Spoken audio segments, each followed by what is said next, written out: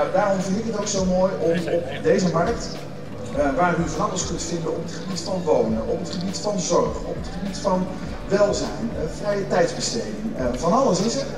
om daar dan ook gewoon ja, uw gedachten over te laten gaan en de informatie die er is, die ook gewoon mee te nemen om dat thuis dus rustig te overdenken dit is een soort jaarlijkse traditie. Ik sta hier eh, graag elk jaar bij de start van de informatiemarkt. Eh, om eh, vooral ook even nou ja, mensen te enthousiasmeren. Vooral te kijken wat er hier te halen valt als het ware. Want ja, wat ik net in mijn openingswoordje al zei. Eigenlijk staat de zorg in Nederland op een soort kantelpunt.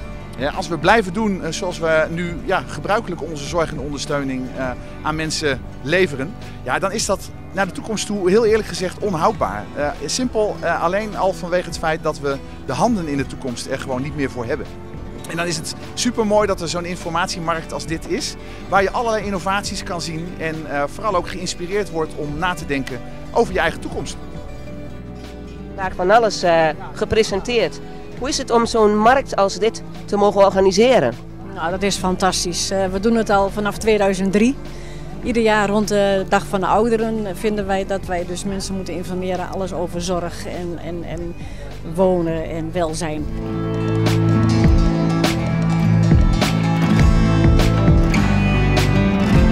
Ik sta bij Cor uh, Brusje. En waarvoor bent u vandaag naar deze seniorenmarkt gekomen?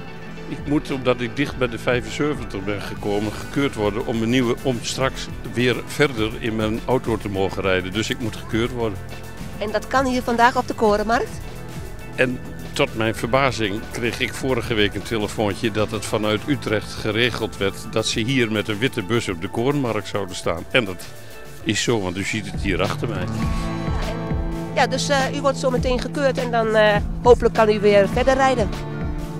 Ik hoop dat ik dan nog in ieder geval uh, de komende vijf jaar mijn vakanties en mijn kleine ritjes hier in de regio kan doen. Heel veel succes! Dankjewel. En is het ook dit jaar weer gelukt om een aantal uh, verschillende stands te bemachtigen en mensen te enthousiasmeren? Mm, dat klopt. Zoals je ziet uh, staat het mooi vol. We hebben van, uh, van allerlei soorten hebben we wat. We hebben wat van de zorg, we hebben wat van wonen. We hebben zelfs de, de oliebollenkraam erbij. Dus wat mooier kan het toch niet? André Sandbelt, u bent een van de bezoekers aan deze markt en deze seniorenmarkt. En hoe, uh, ja, wat denkt u hier te vinden? Nou, ik ben al meer bekend. Ik heb uh, heel vaak in een kraampje gestaan van Leendert Vriel. Ik was bij, onder meer vrijwilliger bij Leendert Vriel. En dan zag ik wel al die zorginstellingen die hier eens per jaar zo naast elkaar staan. En dat vond ik een hele goede service.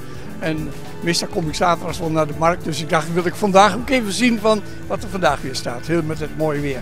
Wat ik eruit vind springen is dat eigenlijk elk steentje uh, uh, ja, eigenlijk mensen bewust probeert te maken van, uh, nou ja, van wat er op hun afkomt. Uh, wat de toekomst allemaal gaat, uh, gaat brengen. Maar vooral ook welke kansen er zijn om daar zelf He, vanuit je eigen verantwoordelijkheid en je eigen rol om uh, zo lang mogelijk ja, te kunnen blijven meedoen in, uh, in de samenleving. Om daar uh, nou ja, ideeën, tips en trucs voor te krijgen. Dus dat is eigenlijk de, de, rode draad van wat er op de hele markt vandaag te vinden is. Loop gewoon lekker rond en kijk wat er voor u te halen is. En geniet van deze mooie zaterdag. Dank u wel.